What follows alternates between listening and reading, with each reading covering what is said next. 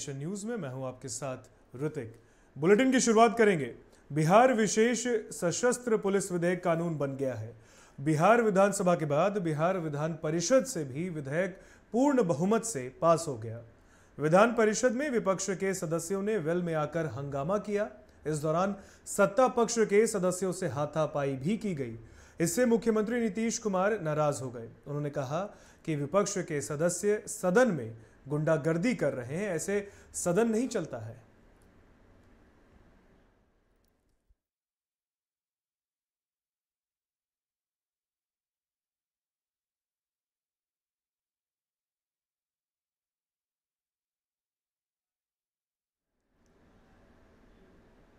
बिहार विधान परिषद में सशस्त्र पुलिस विधेयक के पेश होने के बाद विपक्ष ने हंगामा शुरू किया।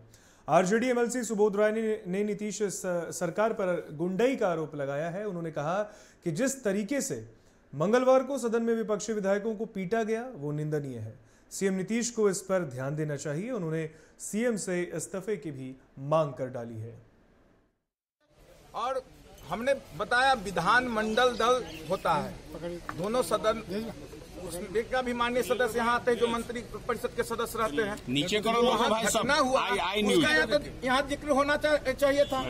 हमने कार्यस्थगन प्रस्ताव दिया उसमें कहा जो मुख्यमंत्री जी विपक्ष भी आप ही का अंग है। आपने अपना सदन में नया पुलिस बिल पास होने से पहले आरजेडी एमएलसी रामचंद्र पूर्वे ने नीतीश सरकार पर जमकर निशाना साधा। उन्होंने कहा कि बिहार सरकार की पुलिस पीपल फ्रेंडली नहीं है और इस बिल के लागू होने के बाद सूबे में पुलिसिया गुंडाराज कायम हो जाएगा।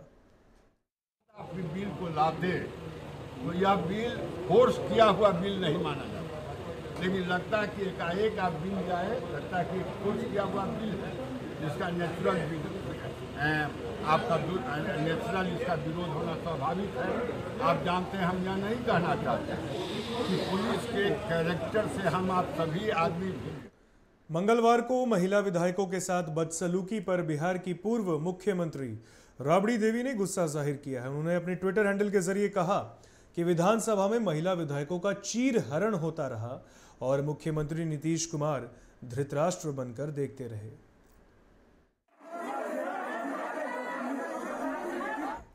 बुधवार को बिहार विधानसभा के बजट सत्र के आखिरी दिन सूबे के मुखिया नीतीश कुमार ने मीडिया से बात की। इस दौरान उन्होंने मंगलवार को सदन में पुलिस और विपक्षी विधायकों के बीच हुई भिड़ंत पर अपनी प्रतिक्रिया देते हुए कहा कि सदन में विपक्ष ने जो किया, वो सदन की मर्यादा के खिलाफ था। सदन में सबको शांतिपूर्ण तरीके से सवाल पूछने का अधिकार है, लेकिन विपक्षी विधायकों ने विधानसभा अध्यक्ष को बंधक बनाने की कोशिश की, जो सरासर गलत है। वहीं उन्होंने पुलिस और विपक्ष की भिड़ंत को एक तरफा करार देते हुए कहा कि विपक्ष के विधायकों ने सदन की गरिमा को भंग किया है। चौबीस नवंबर जहाँ स्पीकर का आसन है, उसको किस तरह से किया जा रहा था, उसके आगे जो सब कुछ होता था, वहाँ पर किस प्रकार की गतिविधियाँ की ये सबको मालूम है। इस तरह का तो कभी व्यवहार होता नहीं आज बोल रहे हैं कि पुलिस वाले आई तो स्पीकर साहब के हाथ में है। पूरी स्थिति को नियंत्रित करने के लिए वो कोई भी सेवा ले सकते हैं। और ऐसी कोई बात नहीं। बिहार विधानसभा में मंगलवार को हुई घटना के बाद विपक्ष सरकार पर हमलावर है। नेता प्रतिपक्ष तेजस्वी यादव ने मुख्यमंत्री नीतीश कुमार पर हमला बोला। उन्होंने सदन में हुई घटना का जिम्मेदार सीएम नीतीश को बताते हुए उन्हें चूड़ियाँ पहनने की सलाह दे डाली। तेजस्वी ने कहा कि सदन में हुई घटना निंदनीय है। सदन में पास हुए बिहार विशेष सशस्त्र पुलिस विधेयक पर उन्होंने कहा कि यह काला कानून है और इसका खामियाजा आने वाले दिनों में नीतीश कुमार को भी भुगतना पड़ेगा। इतना ही नहीं, बल्कि तेजस्वी ने कहा कि अगर ये कानून वापस नहीं लिया गया तो वे इसे पूरे कार्यालय, कार्यकाल के दौरान सदन में नहीं जाएँगे। लात घूसे, महिलाओं का जिस प्रकार से नीतीश कुमार जी ने चीर हरण कराने का काम किया, बाल पकड़ के खिंचवाना, साड़ी निकलवाना, विधायकों को नीतीश कुमार जी के इशारे पर लात घूसे।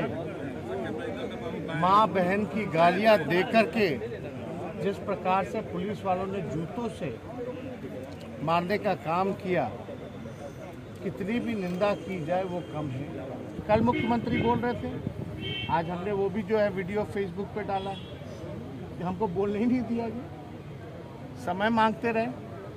अब बाद में क्या कह रहे हैं कि हम जो है बहस करना चाहते थे एक एक का सवाल लेकर के पूछना चाहते थे। हाँ? आ जाए मैदान में।